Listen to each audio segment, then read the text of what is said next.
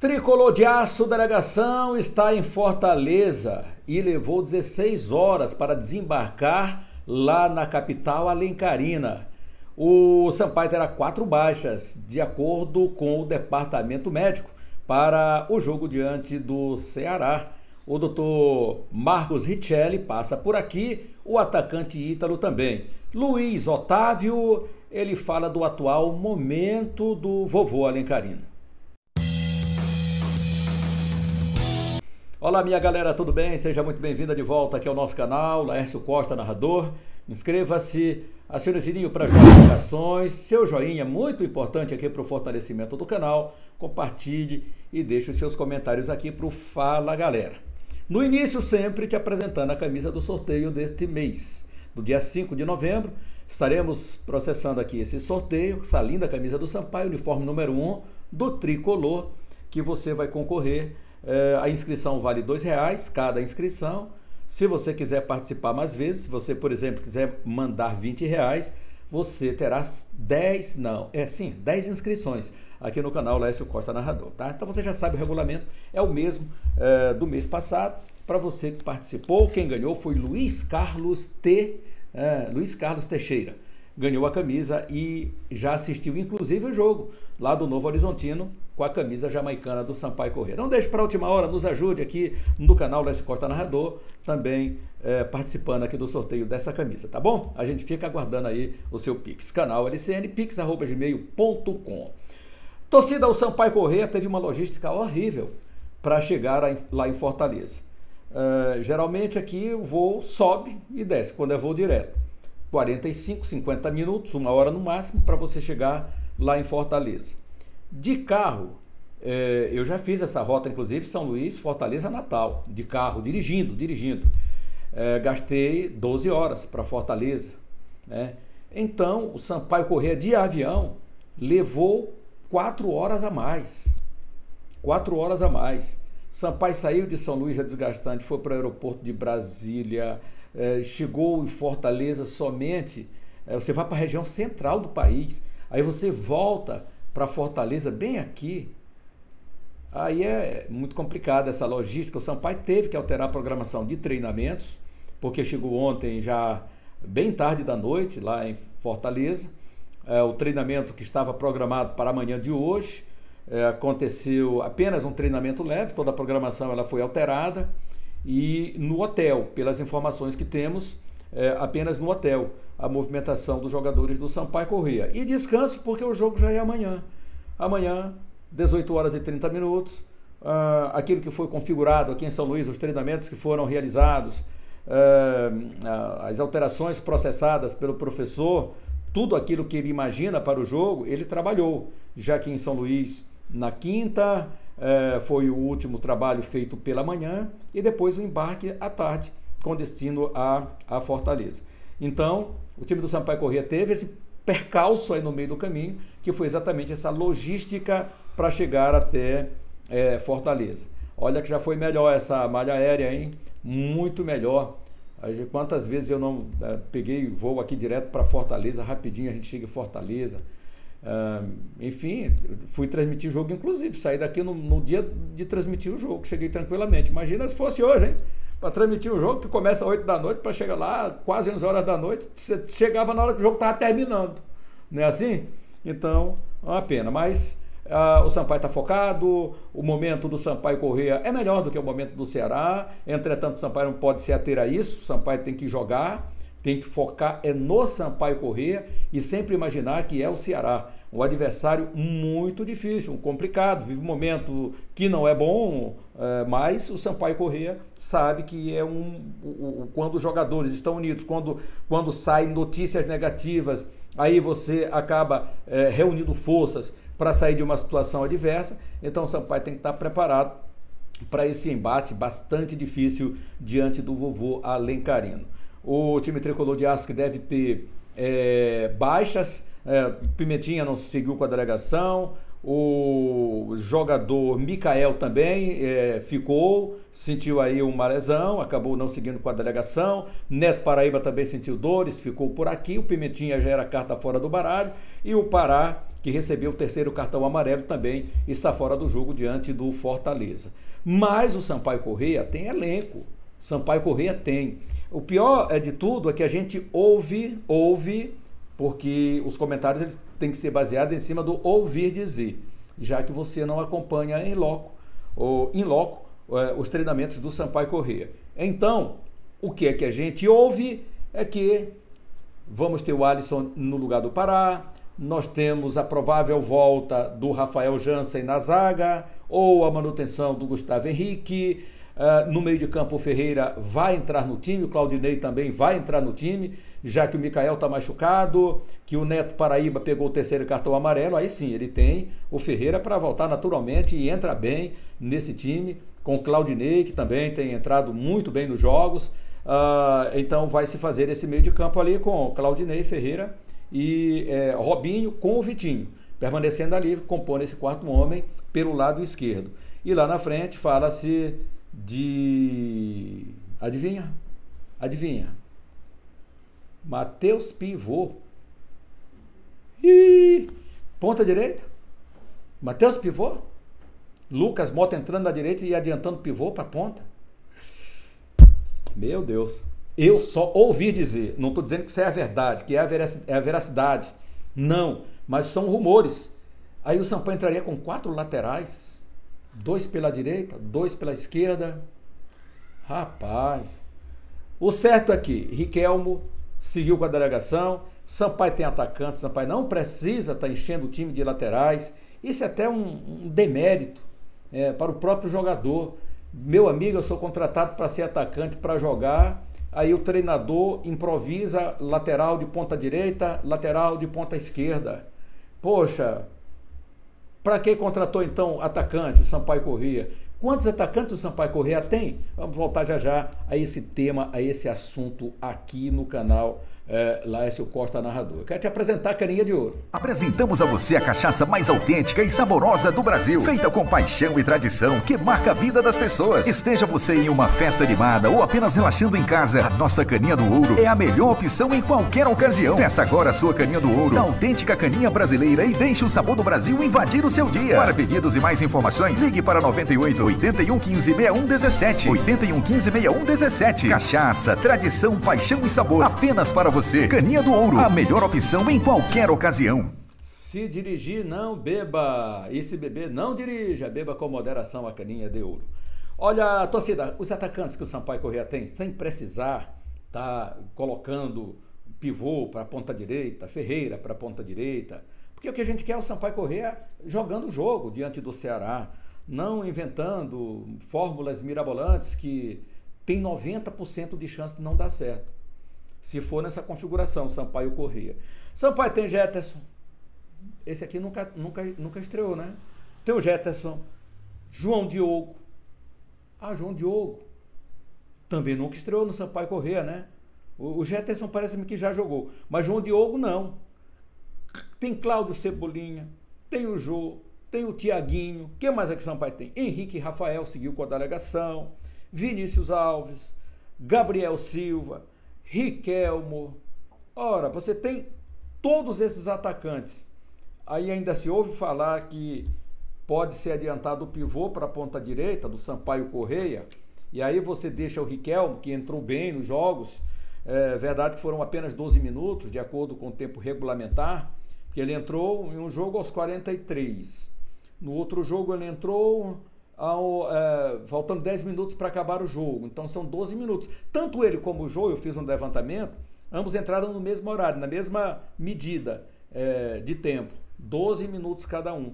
Então é hora de botar essa moçada, o, o, essa atmosfera é uma atmosfera favorável a, a, ao Riquelmo, que é um jogador que é, já sabe jogar no Castelão, lá na Arena Castelão, conhece, jogador do Fortaleza, estava emprestado, retornou, quer mostrar serviço lá na, é, é, em Fortaleza. Então, o que é que você é, é imagina? Pô, vai o Riquelme para o jogo. Agora, ninguém também está dizendo que o professor vai colocar. é, pode ser que ele tenha treinado essas alternativas de jogo também. E aí, tudo bem, são alternativas para você usá-las no decorrer da partida, não para iniciar um jogo. Não para iniciar um jogo. Eu acho que para iniciar o jogo, você tem que colocar. A minha formação hoje do Sampaio Correia, é, com todo respeito à opinião de quem pensa diferente, mas eu colocaria Luiz Daniel, é, Matheus Pivô na lateral direita, Ícaro, na zagueiro pela direita, pela esquerda eu voltaria com Rafael Jansen, embora o Gustavo Henrique seja um ótimo jogador, mas ele é jogador pelo lado direito, na mesma posição do Ícaro, né? Então, traria o, o Rafael Jansen, então, para essa quarta zaga, e lá pelo lado esquerdo, sem mistério, é o Alisson, eh, que é o substituto imediato do Pará. No meio de campo, aí sim, você coloca é, o Claudinei, eh, a ausência do Mikael, é, a ausência do Neto Paraíba tem o Ferreira, tem o Robinho para fazer essa trinca, com mais ainda o quarto homem pela esquerda, como vem jogando, para não fugir muito e estar tá alterando tanto a equipe. Vitinho. E lá na frente, você não pode abdicar de um especialista da posição. O especialista da posição é Riquelmo, é Tiaguinho, é, é Rafael Henrique.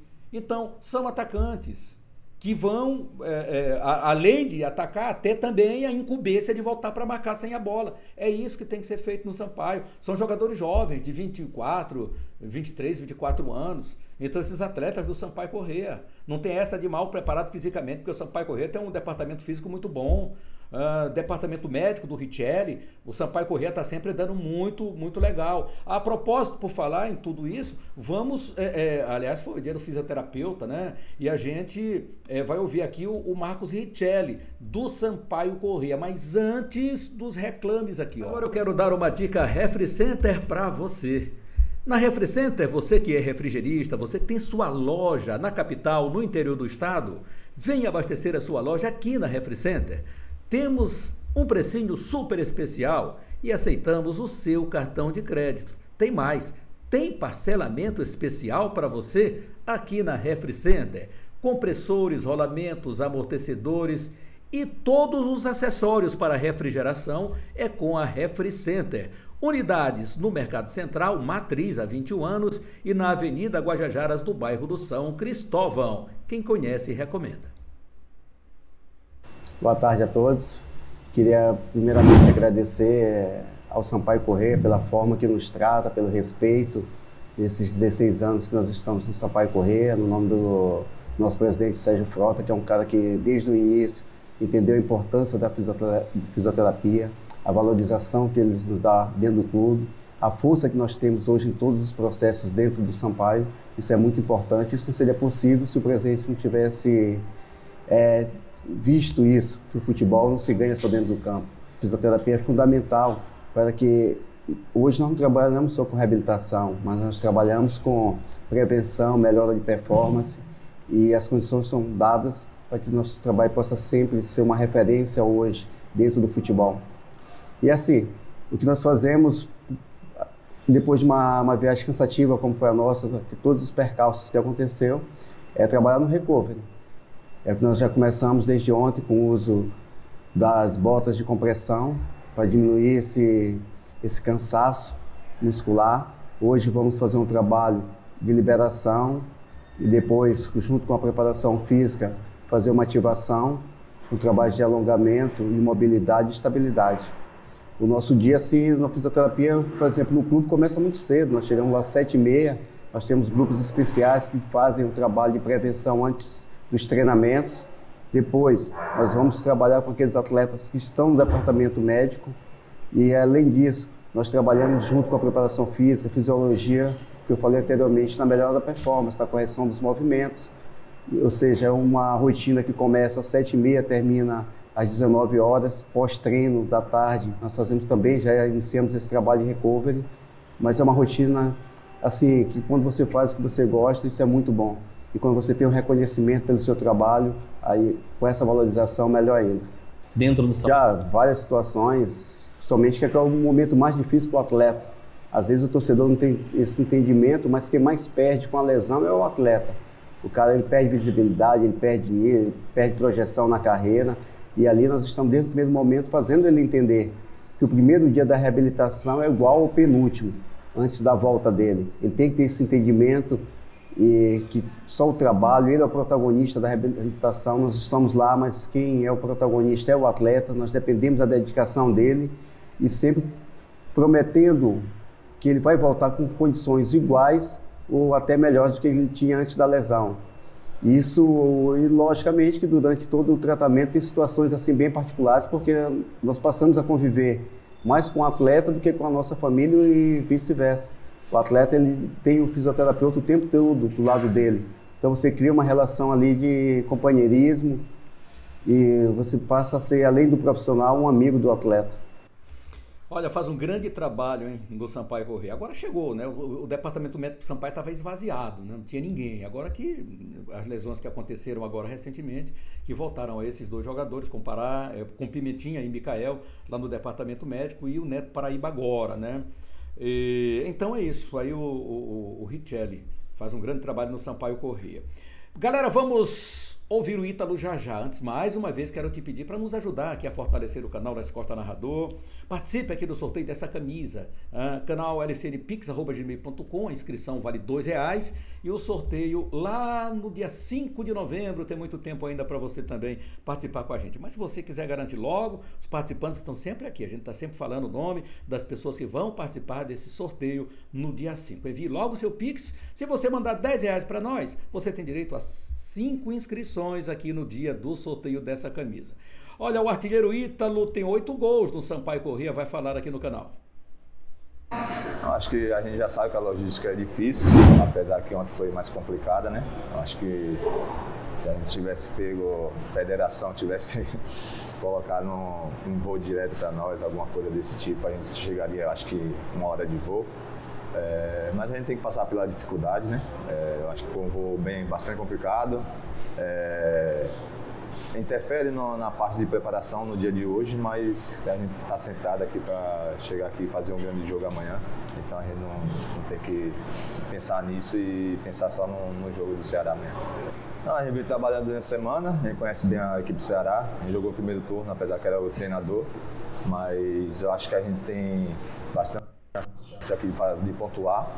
É, a gente trabalhou bem a semana para poder fazer um grande jogo e sair principalmente com os três pontos. Acho que nos jogos ela não, não, não chegou, mas acho que a gente conseguiu trabalhar bem essa semana para que a gente possa fazer a bola chegar no, no centroavante, né, que é o que a gente quer para para poder fazer o gols, os gols, mas acho que é importante a gente sair com a vitória, não importa quem faça o gol, mas se, se a bola chegar ali, que nem você falou, sempre estou conseguindo fazer os gols. Espero que nesse, nesse jogo possa aparecer as oportunidades. Sim, já joguei algumas vezes. Mebal Alumínio, portas, portões e janelas em alumínio e vidro temperado. Jardim de inverno, instalação e manutenção do seu motor é com a Mebal. Próximo ao sinal do Coatrac, 3238 5050 98802 0326. Aí o Ítalo, né? O Ítalo já é, jogou várias vezes lá é, em Fortaleza, né? Jogador que conhece também ali já o gramado, o piso da Arena Castelão. Tá preparado para esse jogo? Era a participação final que eu acabei cortando aqui do nosso grande Ítalo, artilheiro do Sampaio Corrêa com oito gols. Essa rodada do Campeonato Brasileiro, ela vai dar prosseguimento. Já foram dois jogos realizados essa rodada 32 aí do Campeonato Brasileiro. E nessa rodada 32, nós tivemos o Vila Nova se dando bem em cima do Botafogo 3 a 1 Foi o jogo da quarta-feira. Pausa para a seleção brasileira empatar com a Venezuela lá em Cuiabá, que jogo ruim da seleção, hein? E aí Criciúma e Chapecoense se encontrando hoje. Também um jogo único, às 21 horas e 30 minutos. E para amanhã, tudo isso aqui, ó. Ituano e CRB, Novo Horizontino e Tombense, Ceará e Sampaio Corrêa, jogo aqui do nosso canal. Nós teremos no domingo Ponte Preta e Atlético Goianiense, Vitória Guarani, ainda Londrina e Havaí. Jogos importantes para a gente também ficar acompanhando. E na segunda-feira vai fechar-se essa rodada 32 com Juventude e Esporte Recife. Que mudou na classificação aqui com a vitória do Vila? Que o Vila está no páreo, companheiro. O Vila está no páreo, ainda sonha. 51 pontos tem o Vila.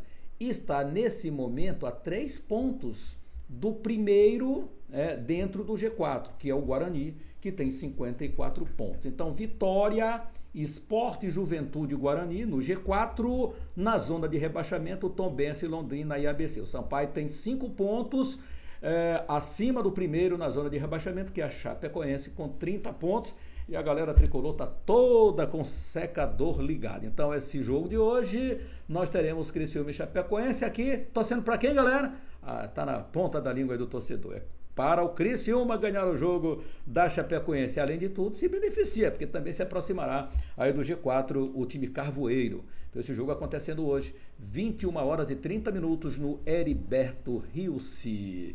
Minha galera, vamos nessa então, vamos que vamos dar aqui o recadinho para você do projeto Educando com Esporte em Barreirinha, com a lei de incentivo, governo do Maranhão, Equatorial Energia, isso mesmo com o projeto Educando com o Esporte em Barreirinhas, com a lei de incentivo governo do Maranhão Equatorial Energia.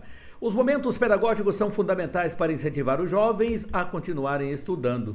O projeto estimula a prática do estudo, pois entende que é por meio da instrução que o ser humano consegue definir e alcançar os seus objetivos de ascensão de vida. Projeto Educando com o Esporte em Barreirinhas, Maranhão. Vamos ouvir agora o glorioso Luiz Otávio. Luiz Otávio passou pelo Sampaio Correia, um grande zagueiro, está quase com 300 jogos vestindo a camisa do Ceará. Momentos de turbulência, ele passa aqui no canal. É, boa tarde, Horácio. É, é complicado, né, na verdade, porque hoje mais do que nunca não é só jogar futebol. Hoje o jogador tem que estar preocupado com tecnicamente é, mentalmente. Eu acho que nós, já falei isso aí algumas vezes, né? Nós somos uma mente que move um corpo, né? Então a gente tem que se privar disso de várias maneiras, né? E infelizmente a gente tem dois anos aí né, vindo de insucesso, né? Muitos já classificaram como fracasso, né? Eu acho que para uma pessoa que vem da onde eu vim, interior, cidade pequena, probabilidade muito pequena de um jogador se tornar atleta profissional e você passar, né, por essas duas temporadas que, que eu tenho passado aqui no, no Ceará é muito difícil para mim, né? Porque eu tô aqui há sete anos já, né? Tô perto aí de completar uma marca que é algo seria algo a se comemorar muito, né? Eu creio que em outro momento, mas eu tenho deixado até passar um pouquinho por conta do momento, né? Por conta de toda a pressão das cobranças que a gente vem sofrendo, que é algo normal, Ceará é um clube de massa grande, tem que se cobrar título mesmo, tem que se cobrar para que o jogador vista a camisa, vista com garra, com determinação, da mesma forma que o torcedor vai para o estádio para apoiar a todo tempo. Né? E infelizmente a gente não tem conseguido converter isso não só dentro dos jogos, com os resultados, e também né, dentro do, do cenário com títulos também. Esse ano né, a gente conseguiu a Copa do Nordeste, mas os outros. É, objetivos que a gente tinha dentro da temporada, infelizmente a gente não conseguiu. Mas, como eu falei, né, a gente planeja muitas coisas dentro da nossa vida, dentro do nosso ano. Né? Isso aí não é certeza de que tudo vai dar certo, porque não é como um mais um é dois. Né? Você tem que tem processos, você tem que trabalhar esses processos você tem que entender eles também, fazer o melhor para que isso aconteça. Mas infelizmente a gente acabou não conseguindo nossos objetivos porque muitas vezes falhas nossas, faltou de nós em muitos momentos. Infelizmente tem que ser reconhecido e assumir a responsabilidade. Aí o Luiz Otávio. Luiz Otávio ainda vai falar aqui no canal Lécio Costa Narrador, vai ser o nosso convidado também deste sábado. Nós temos aí uma pré-jornada esportiva sensacional. Eu te convido para estar aqui no canal. Nos ajude a fortalecer esse canal. A nossa meta, o nosso estudo é não ficar apenas no estúdio ou só no Castelão, mas viajar também com o Sampaio Corrêa. Mas a gente precisa de você para nos ajudar, para nos incentivar. E o meio que a gente encontra é ter parceiros aqui no canal e também é, fazer os sorteios que tem também nos dado uma pequena ajuda aqui para a gente manter esta página no ar. Portanto, nos ajude. Nós estamos sorteando essa camisa linda do Sampaio Correia, canal lcnpix.gmail.com, tá? A inscrição é só dois reais. Se você enviar um pix, por exemplo, de 20 reais, você terá direito a 10 inscrições aqui no canal Lécio Costa Narrador. Os participantes até agora Espírito Franca dos Santos, Assunção de Maria Corrêa Rodrigues, Hilton Santos Fonseca Ribeiro, Adecione da Silva Teixeira, Nívia dos Santos Conceição, José Ribeiro de Mesquita, Francisco Pinto Lima, Frederico José Martins de Souza e Nelson Almeida Oliveira. Já estão com participações garantidas aqui para o sorteio do dia 5 dessa linda camisa do Sampaio Correia. Mande lá seu Pix, canal LCN Pix, arroba gmail.com. Minha galera, muito obrigado pela sua companhia. Fim de semana maravilhoso, expectativa para o jogo amanhã. Esteja conosco. Estarei na jornada esportiva narrando com os comentários do professor Bebeto Correia e as reportagens do Acácio Costa. É isso aí, muito obrigado, valeu. Fique com Deus, um grande abraço e até mais.